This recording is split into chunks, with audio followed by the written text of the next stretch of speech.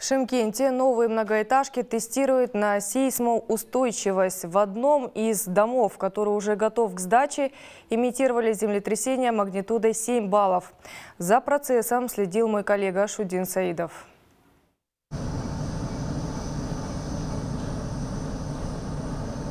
К счастью, это постановочное землетрясение. Для проверки на прочность выбрали многоэтажку в новом микрорайоне Туран. Имитировали волну магнитудой 7 баллов. В доме побилась посуда и мебель, но стены выдержали, трещин нет. Учитывая вот эти э, э, произошедшие события в Турции, э, пошел, условно говоря, на этот риск для того, чтобы вот эта новая конструктивная система, которая у нас внедряется э, в Республике Казахстан, в частности в Шимкенте, вот, показала в данном случае себя очень хорошо.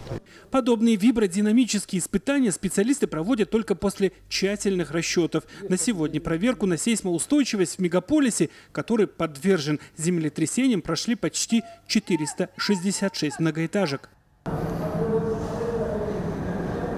Проверяют новые здания на прочность не только местные эксперты. В комиссию по приему жилых домов входят и специалисты Международной ассоциации по сейсмостойкому строительству.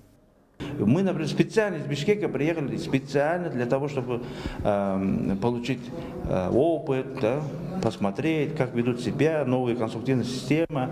Э, вот поэтому я считаю, они очень правильно делают и желаю, чтобы такие испытания проводились не только здесь, в Шимкенте, вообще, чтобы все строительные компании, все они, чтобы доказывали, Последние два года в Шимкенте идет масштабное строительство. В мегаполисе появилось несколько новых микрорайонов. Социальные объекты и жилые дома, расположенные там, проходят обязательную экспертизу на сейсмоустойчивость. Шутин Саидов, Абзал Турабеков, Жибек Жулы, Шимкент.